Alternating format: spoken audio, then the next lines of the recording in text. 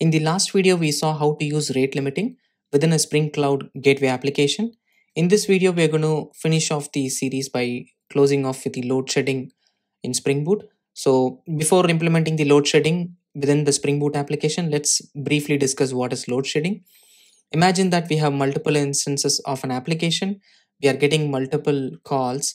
And in terms of rate limiting, we do limit our number of requests for individual APIs. But in the load shedding, we want to safeguard our individual service so that it doesn't exceed a particular threshold. So load shedding is basically limiting the calls per service.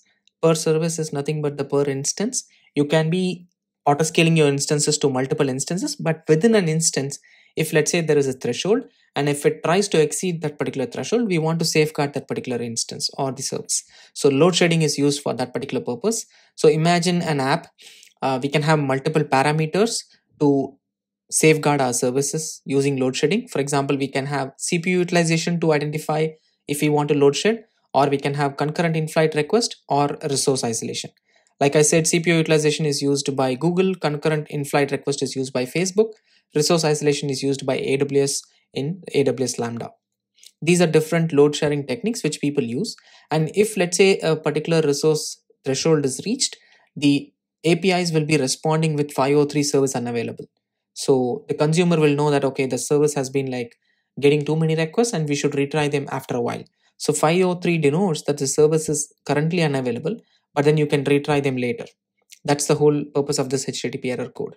In terms of rate limiting, you would have seen that we return a 429 too many requests. But for load shedding, we want to make sure that particular service is returning 503, right? Even the load balancer can read the 503 and then route the traffic to a different instance. So consider this case where we have multiple instances of the application. If one of the application is returning 503, subsequent calls to the services will be routed to a different instance than to that instance. That's how the load balancer behaves. Right? The load balancer can trigger your keep alive and if the keep alive is returning 503, then we can route the traffic to a different instance which is there to serve. So now how do we do this in Spring Boot, right? So we are going to create a load shedding application. We are going to expose an endpoint called greetings and we are going to use the in-flight request. So we are going to restrict our application if the requests are more than three. I want to just simulate a simple scenario. Generally, Tomcat has 200 threads, which is the default thread count. I don't want to like go to that many number of threads, um, right? So I want to create a simple example. So if let's say there are four requests coming in to the greetings endpoint, the fourth request should be returned with 503, right? And the third and the first three requests should be processing, right? Uh, since it's a simple greetings application, I will just make it uh, sleep for let's say a minute or two. That way we can simulate the fourth request and then see how the uh, server is responding, right? And I'll show you how to do that. With that, let's get started.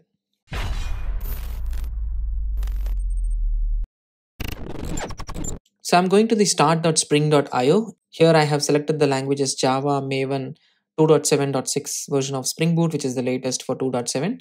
I've uh, changed the group to ComTech primers. I have changed the artifact name to load shedding example, um, package name to load shedding. I'm using the jar packaging and the Java version 11. I also added a Spring MVC dependency because we wanted to expose one endpoint called greetings. That's all. So I'm going to generate this project and then open it in IntelliJ. So the project is open in IntelliJ, so I can see the POM XML. So in the POM, I think I have only one dependency, right? The Spring MVC. There is nothing, it's just a vanilla project, right? Um, so what I'm going to do is I'm going to add a new filter. So in this case, we want to track the number of requests, isn't it? So the number of requests can be tracked by counting the number of incoming requests, right? So how do I count the incoming request? There is a Spring filter or the servlet filter using which we can plug in or add a new class right? And then we can start counting the number of requests and then we can start decreasing it when the uh, chain completes right? So spring boot has a filter chain. So i'm going to leverage that. So i'm going to create a new uh, in-flight request filter. Usually this filter uh, these filters implement the filter from the servlet right? The javax servlet that's the interface. I'm going to implement the do filter method right? So in the do filter method i'm going to like uh, so it, it has three arguments right? The filter chain http request and the response. So i also want to go and ask it to go to the next chain. So i'll just say filter chain dot do and then servlet request and the response. So when will i move it to the next filter chain once i have incremented the um, request right? I mean we need to count the number of requests. So what i am going to do so what i'm going to do uh, first thing is i'm going to annotate this with components so that this can be injected during the startup.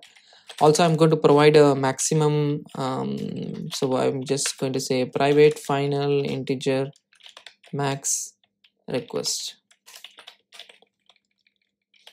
Right so i want to keep only three requests right? That's the max request. And i also want to count the number of requests. So i'm just going to say uh, current requests.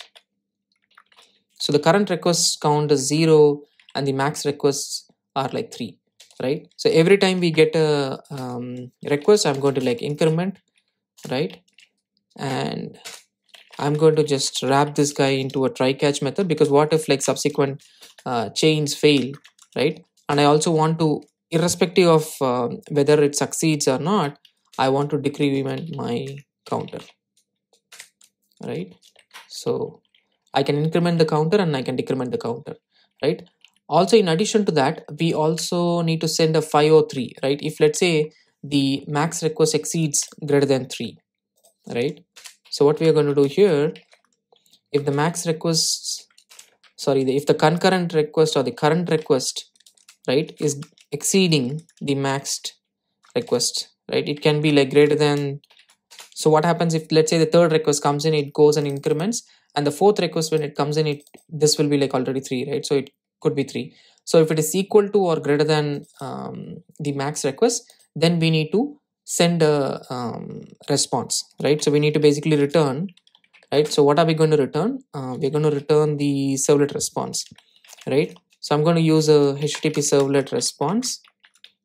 We already have the object here. So i'm going to typecast that object into an http type so that we can add some uh, status. So you can just pass the status uh, i want to pass uh, let's say server unavailable right? I want to pass the server unavailable status and also i want to pass some message right? So i want to pass a message saying uh, response.get output dot write you can do a write and then you can do like a byte string.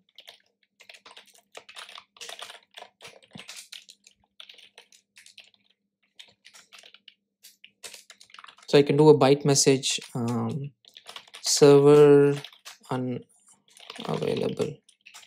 Please retry later or after some time.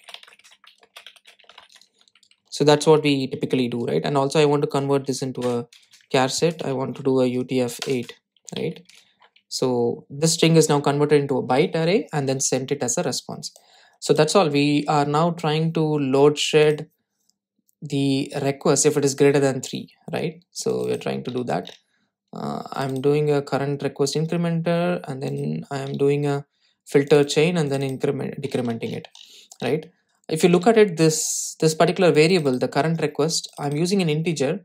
This may not be like safe if i'm using multiple uh, threads right? Because this particular filter will be hit by multiple threads and then they can complete uh, whenever uh, they want right? And, and this is like not thread safe. So i'm going to use the atomic integer for that so instead of using the integer let's use this atomic integer. So i'll do a dot get. Here i have to do a increment. Get. Here i have to do a decrement.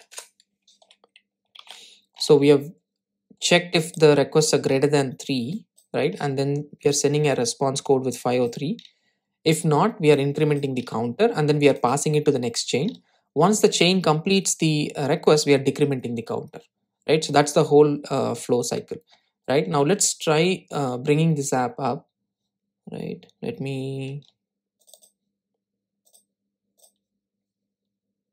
run this application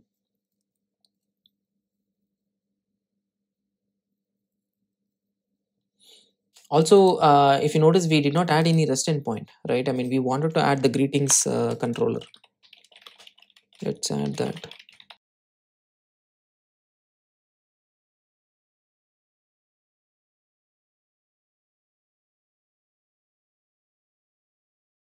So let's first run this and then we will try to change this a bit.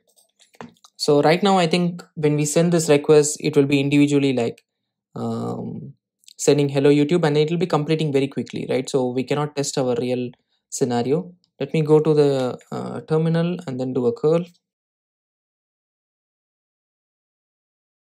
So we get a hello YouTube immediately, right? So I didn't do anything. It just came immediately, right? Because we didn't add any um, sleep or anything. If I do it like a number of times, I'm just going to get the same thing again and again, right? And if I do it multiple times, it's not going to uh, matter, right? Let me open new tabs so that we can check. So I have like four uh, different shells where we are going to run the same things, right? But meanwhile, I want to add some delay uh, to this particular endpoint. So I'll add a sleep of uh, let's say one minute, right? So just to make sure that we test the whole load shedding.